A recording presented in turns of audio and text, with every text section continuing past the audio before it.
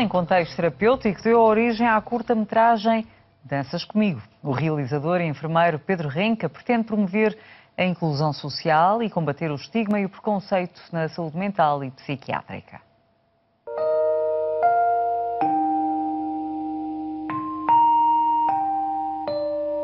E a forma uh, como uh, a expressão corporal pode ser usada e, e utilizada como estratégia uh, para melhorarmos a nossa prática clínica, digamos assim, favorecendo a relação de ajuda, o poder comunicacional, a empatia para com o utente que nos procura e a pessoa em si. Eu não sou de grandes paixões, quebrar corações não é para mim.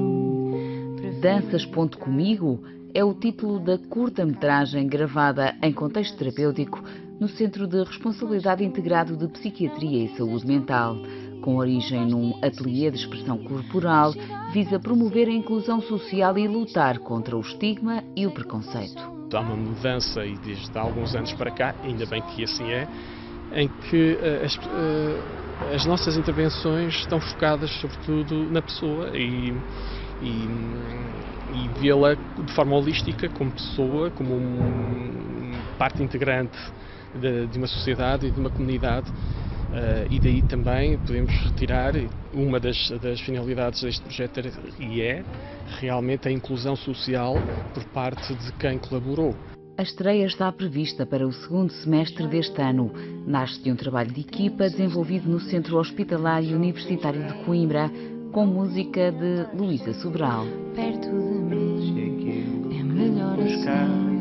A colaboração na, na, na questão da cedência da música para trabalharmos com os doentes, que eu gostava de agradecer à Luísa Sobral. Da pintura à fotografia, passando por outras curtas-metragens, Pedro Renca tem desenvolvido vários projetos com o mesmo horizonte.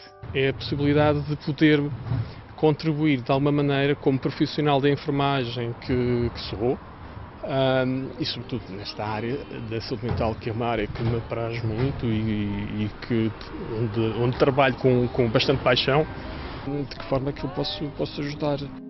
Mas não foi só um beijo para